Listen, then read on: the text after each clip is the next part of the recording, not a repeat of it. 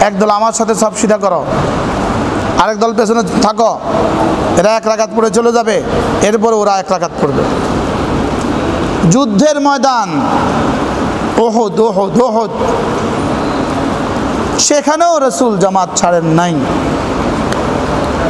কোন সমস্যার কারণে আমাদের দেশে জামাত ছাড়তে বলা হয়েছে? কি? বলেন, কোন সমস্যার কারণে আমাদের দেশে জামাত ছাড়তে বলা হয়েছে? এই জন্য আল্লাহ তালা চ্যালেঞ্জ ছুটছেন যারা জামাতে আসে নাই, ওরা আক্রান্ত বেশি হয়ে গেছে। বলেন এই পর্যন্ত আক্রান্ত হয়েছে কারা? যারা জীবনেও মসজিদে আসে নাই, তারাই সবচেয়ে বেশি আক্রান্ত হয়েছে। বলেন, কি বলছি, বলেন? বাস্তব না বাস্তব, বলেন? যারা জীবনেও কখনো মসজিদে আসে নাই, তারাই সবচেয়ে বেশি আক্রান্ত। যারা সারা জীবন ভর মসজিদে কখনো আসে নাই, তারাই সবচেয়ে বেশি আক্রান্ত। বাস্তব না বাস্তব বলেন। কি? জুমা এবং জামাত সারা পৃথিবীতে মুসলমানদের ঐক্যের শেষ হাতিয়ার।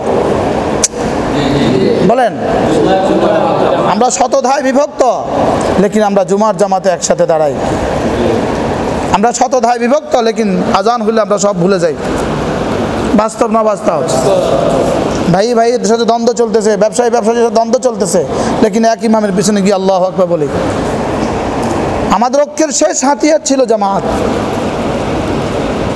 লেকিন আমাদেরকে সেই জামাত থেকে বাহরাইন, দুবাই এবং ওমানে আজকের এই দিনেও মসজিদ খোলা হয় নাই।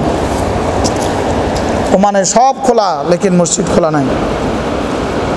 শুধু মাদ্রাসাগুলো খুলে নাই আর মসজিদ খুলে নাই। আজকের এই দিনেও আজান হাইয়া আল সালাহ হাইয়া আল ফালা এই দুই শব্দের পরিবর্তে বলা হচ্ছে সল্লুফি বুয়ুতিকুম সল্লুফি বুয়ুতিকুম।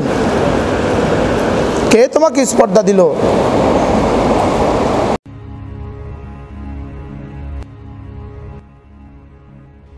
ইসলামিক মিডিয়া, সুস্থ সমাজ বিকাশের জন্য অনলাইন মার্কাস টিভি।